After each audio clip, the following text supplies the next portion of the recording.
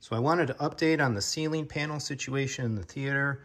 Man, these things keep falling. GIK two-way panels. tried the 3M Super 77 spray adhesive. Didn't hold. You can see they're starting to actually get tore up.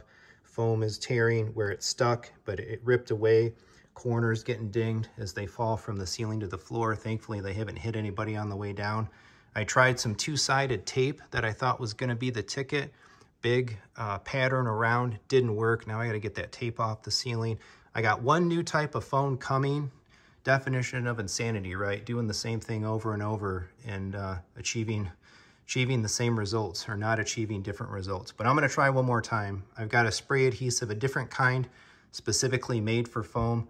Uh, I don't know, probably shouldn't even have done it this way. Try to do it simpler, and all I did was complicate things. Lesson for your home theater.